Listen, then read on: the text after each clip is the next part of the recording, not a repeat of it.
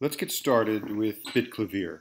Now, first thing is uh, if you're using an external audio device, you need to make sure that that's set in the system preferences in sound. Um, now, I'm not, so I only have the internal speakers, um, so that's not an issue here and for most people. Uh, but if you don't set it before you launch bitKlavier, it's not going to work right, and you'll have to quit bitKlavier and start again. So we're good to go. Um, let me open bitKlavier having just downloaded it here. Um, the first thing is you'll sometimes get a message like this, or you'll get a message saying you're not allowed to open this because it's from an unidentified developer. Uh, that's easily addressed um, if you go to the security and privacy system preferences here um, and open it up um, with your password and then set it so that apps can be downloaded from, from anywhere. And once you've opened it once, it should work again uh, from there on out. Okay, so I'm going to say, yes, open this up, please. And here we go. So it launches two separate windows. Um, this is sort of a console window that you never really have to, to look at. Um, um, and then this is the main window here.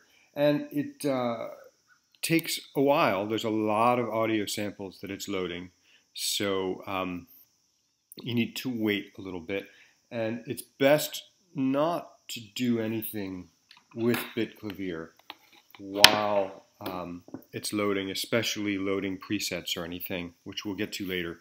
Uh, it's just the system is not ready for it. However, you can, uh, while this is happening, just play your external keyboard um, to confirm that it's connected properly. If when you play it, you don't see the notation and the keyboard um, activating, then the device is not connected properly, and um, you'll need to, to, sort that out.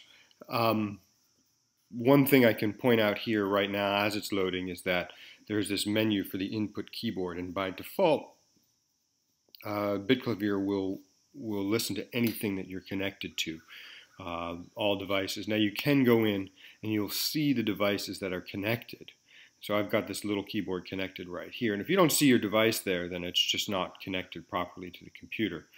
Um, if you select it, uh, an individual one, then it should only hear that one. And that's sometimes useful if you've got multiple devices that are connected to um, your computer. Okay, so now it's connected and um, I should be able to hear sound. Yay, that works. Um, so if it's not working, then um, you need to check your audio interface, your speakers, your headphones, whatever, to make sure you're getting sound properly. Um, it's possible sometimes in this window you'll find that there was an error and it never reached this point where it says the prepared digital piano is tuned and ready. In that case, uh, something maybe just didn't uh, work right when you when a bitKlavier first opened, and yeah, you might need to quit it and try again. I don't find that that happens very often, uh, but especially the first time you run bitKlavier, uh, that sometimes happens. And so just try it again, and if it's still not good, rebooting is also an option. Um, Okay, beautiful. So now it's working, which is great. Now, uh, I think the first thing to do is to play around with some of the presets. The uh, This uh, menu here uh, will by default load with a bank of presets, which are example presets for uh, bitKlavier. So the bitKlavier examples uh, bank will be loaded. We've got all of these here, and you can step through these to try them out and see um, how they work. Uh, let me just go back to the bitKlavier folder here. Those examples are all described here so that you can go through and, and see what they do. I think that's actually the, probably the best way to, to get oriented with bitKlavier is simply to step through um, and, and look through the instrument to see how it's working. now that said, um, you may not really care how it works. You may be here just to play some of the pieces that have been written for bitklavier. Um, so for instance, if you're here to play the nostalgic synchronic etudes, you can go over to this left menu here. These are the banks of presets and open up the, uh, the nostalgic synchronic presets. And this whole menu will now update with the presets for uh, nostalgic synchronic. And you can set it for, say, Prelude 1, and um, you'll be good to go to play that one. Um, and then again, if you're playing any of the others, you can you can go ahead and, and do that as well. Um, finally, uh, if you uh, want to play some of the micro etudes, uh, all all of them have their own sets of presets here.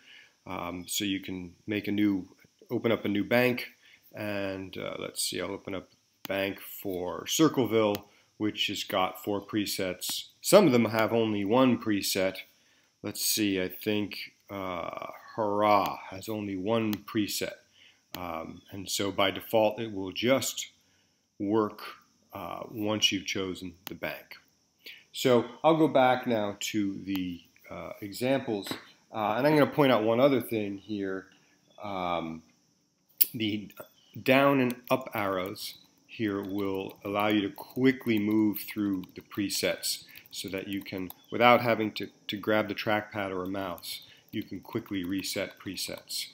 Um, also, the left and right arrows will uh, open up the different subpanels of bitKlavier. Now, we're going to look at these different subpanels in um, other tutorials, but like I said, the left and right arrows will allow you to page through those as well. So again, a handy way to get around uh, the instrument without having to um, work with a mouse or a trackpad. Okay, this little wheel here uh, has a, a, few useful things in it.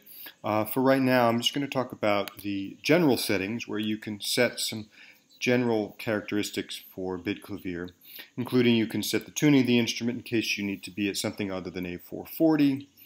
You can adjust some uh, parameters that are relevant to the individual preparations. We'll look at these later, uh, but for now, just remember that in the general settings you can find these things uh, when we get to them later. Um, I have this option to turn off this ability to use the arrows in case that's inhibiting how you use your computer in some ways. Um, some manufacturers of, of keyboards and sustain pedals invert the way the pedal works, and so sometimes you push the pedal down and, and that actually is sustain off. Um, and so that's kind of annoying, but if that's the case, uh, you can just turn this uh, on and that should make the, the sustain pedal work properly. Now, this here is actually uh, quite an interesting thing. Um, Bitklavier includes uh, resonance and hammer release samples, samples that are triggered when the keys are actually released. Um, and that actually can really make the instrument feel much more realistic and, um, and lifelike to play.